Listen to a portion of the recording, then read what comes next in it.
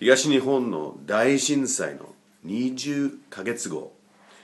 今東北の牧師先生たちはどういうニーズがまだあるでしょうか？戸田淳と戸田ひとみです。増井です。上竹優子です。住吉英二と言います。明石と申します。かなりと申します。大田尾です。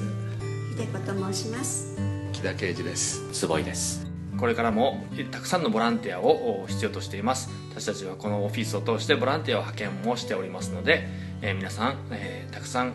来てください。被災地の人たちが今感じているのはだんだん皆さんの関心が、えー、遠のいていっているということです。当然のことかもしれませんがしかし、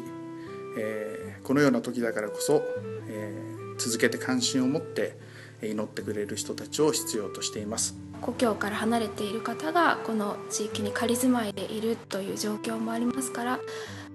いつもこの元気を取り戻した状況の中でも私たちはそのことを忘れてはいけないですし何ができるかまだわからない政府の計画ではわからない状況ですけれども私たちはいつもそのために祈っていきたいと思ってます。どうぞ皆さんもそのことを覚えて祈りまた具体的な支援を捧げていってください。経済的な面とそれからの信徒の方も家を壊して建て直しをしなければならないところもあります。まあ教会も経済的にも大変な面もありますのでぜひお祈りとともに今後もですねご支援をいただければとても助かると思います。教会が壊れてしまってえ大規模半壊ということで壊れてしまって、えー、今教会建て直すところです。来年の3月にまでにえこれを建てようとしていますので、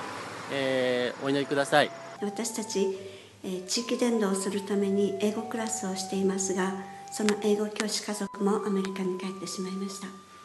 その後も子どもたちは24人の子どもたちが今この小さな丘の上チャペルという不便なところですけれども郡山近郊から来てくださっています。でネイティブスピーカーまたは英語の好きな若い人たちの援助をいただけたら感謝です。放射線量の高い地域を離れてしばらくの期間子どもたちを保養させるプロジェクトのためにまだまだボランティアや保養場所資金が必要です。私の背後にある水をご覧ください。ここに30トンの水があります。この水が1ヶ月間でなくなってしまいます。私たちは今150トンの水を在庫して来年の春までの水を確保していますけれどもその先の水がありません。どうか福島県の子どもたちのために祈り水を送ってください。これから冬は会津はすごく寒いので、えー、湯たんぽであるとかカイロであるとか毛布であるとか、えー、そういう物資を送っていただければと思います。音楽ができる方、えー、話し相手マッサージ掃除炊事どんなことでもいいです、えー、海外からのボランティア長期滞在のボランティアもウェルカムです。ぜひ皆さん私たちのところに力を貸してください。そして私たちのこの被災地のことをいつまでも心の中に留めておいていただければありがたいなと思います。今までたくさんの方々に助けていただいたことを心から感謝をします。ぜひ福島を覚えて支援をしてください。